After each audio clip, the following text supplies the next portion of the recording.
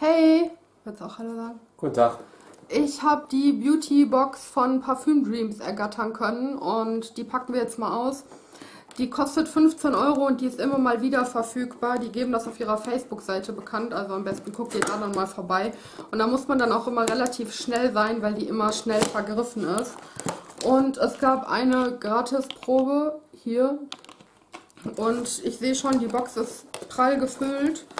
Als erstes hätten wir von Just Cavalli eine Parfümprobe. Hier, so sieht das Ganze aus. Ja, Free Sample, Gratisprobe. Dann haben wir von Biotherm ein Lipbalm. So. Von Trussardi eine Bodylotion. Ich bin ja nicht so der Creme-Typ, aber naja. Kann man sich ja nicht aussuchen, was in den Boxen drin ist. Von Bulgari. Heißt das? Ja, Bulgari, ne?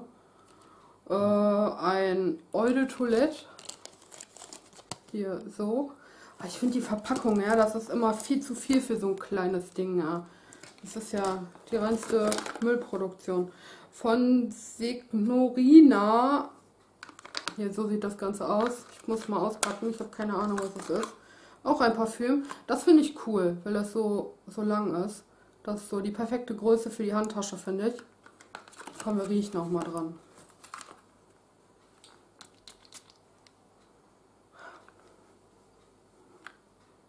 Ich finde, das riecht gut. Aber ich bin nicht so gut im Düfte beschreiben. Möchtest du auch riechen? Hm. Findest du gut? Ja. Dann hätten wir ah, von Nubia Eau de Parfüm.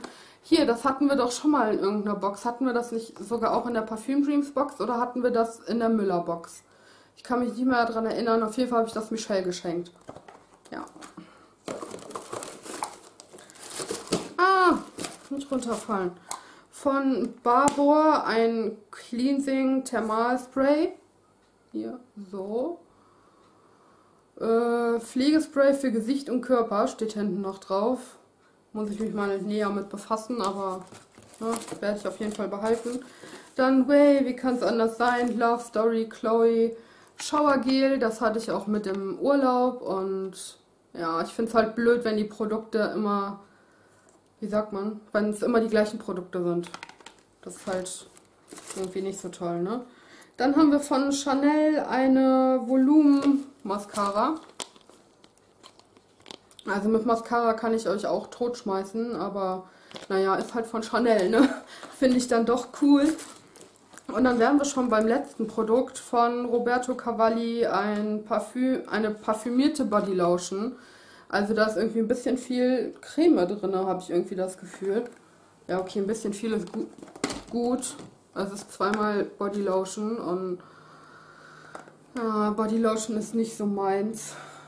Und die Box finde ich so, naja, also ich könnte sie auch zurückschicken, glaube ich. Aber möchte ich nicht, weil ich finde das Parfüm hier cool. Und ich finde auch die Mascara cool. Also die werde ich auf jeden Fall testen. Wir können uns ja mal eben das Bürstchen angucken. Wenn sie dann da rauskommt. Hier, sie ist auch nur so klein äh, an dem Bürstchen klebt schon so viel Produkt. Das finde ich ja dann schon nicht mehr so cool. Wie soll man sich denn damit die Wimpern tuschen? Ja, ich werde sie auf jeden Fall ausprobieren. Und wenn sie dann irgendwann mal leer ist, gibt es dazu bestimmt mal ein Fazit in, einer, äh, in einem Aufgebraucht-Video. Wie findest du die Box? So, naja, ne? Also ich meine, klar, für 15 Euro ist das schon okay. Ich glaube, das Parfüm hier kostet schon irgendwas zwischen 10 und 15 Euro, weiß ich nicht mehr genau. Aber ich weiß halt nicht, ob ich das Parfüm jetzt wieder verschenken werde oder für die nächste Wanderbox, Wanderpaket behalten werde, keine Ahnung. Ja, ich bin zwiegespalten.